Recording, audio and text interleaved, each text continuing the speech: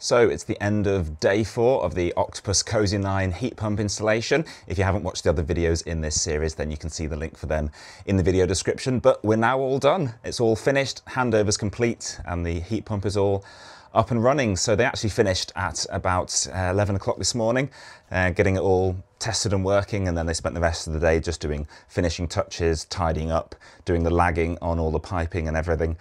Then we've got the Cosy Hub connected to my Wi-Fi. It's the hub inside that connects to the Wi-Fi rather than the heat pump outside, which is obviously good because then you don't have to worry about Wi-Fi signals going through walls. And then we've got the app all set up. You can see the, the zone for the uh, heating, zone for the hot water, set the schedules and see the current temperature and everything on there. We've been given three cosy hubs, uh, one for each floor of the house, and that will show you the temperature in each floor of the house and you can press the button on there to boost the heating up to a higher level for one hour if you want to. It will only ever boost to the temperature at your primary hub, uh, which is the one that we've set for the upstairs here. But yeah, let me show you inside the cupboard now that it's all nicely lagged.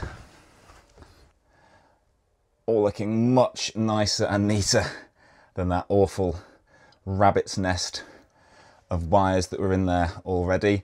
Uh, we've got the expansion vessel that they fitted, uh, which that's a safety thing just to take any excess pressure out of the hot water cylinder if need be. This old one, the installers that did stuff here before not quite sure what they did with that and where the piping goes and everything. So that's been left in place to be on the safe side.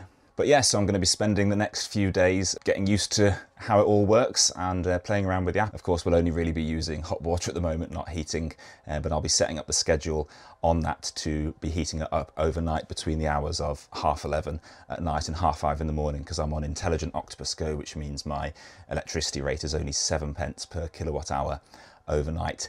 If you're not with Octopus Energy and you want to join, then there's a link in the video description. That's my referral link, which will get you £50 bill credit when you join, and it'll also give me £50 bill credit too. So we're splitting £100. And if you're thinking about getting a heat pump or solar panel system installed by Octopus Energy, then my referral code will also get you £100 off your installation. So make sure you give them that when you place your order. If you've enjoyed this little video series so far, please give it a thumbs up. And if you've got any questions that you'd like me to cover in a bit of a Q&A video later on, then once I've had a chance to get used to it, then please pop those questions below and I'll try and answer as many as I can in the comments. And I'll also do a little video. And of course, I'll be keeping you updated on how I find using it, if I have any problems or issues, and how it works with just using hot water for now. And then of course, come winter time, I'll be able to tell you how it's working in a, in a British winter. And we'll have to see what winter we get this this year. But uh, thanks for watching so far. Don't forget to subscribe and uh, stay in touch for more on the Octopus Cosy 9 heat pump.